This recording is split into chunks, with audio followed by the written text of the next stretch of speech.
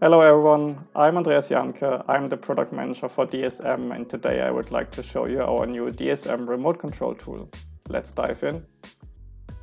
That's our DSM console. After selecting a computer object, opening the context menu and selecting to start the DSM remote control session, you will see the main window, which you can also extend. After that, you have different functionality. For example, you can transfer a file you can select any file from your computer. Let's use, let's use, for example, this one here and transfer it to the remote control computer. And here it is.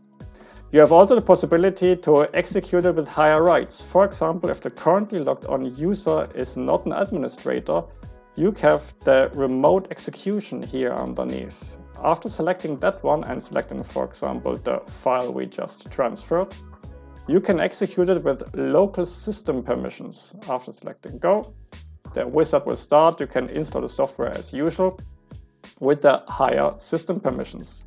We have several advantages above the current heat remote control tool. I described everything in the knowledge base article, which I also linked down in the description.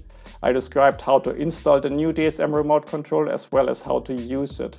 If you have any further questions or suggestions or just want to let us know what you think about the tool, please let me know in the comments section and I would love to hear from you.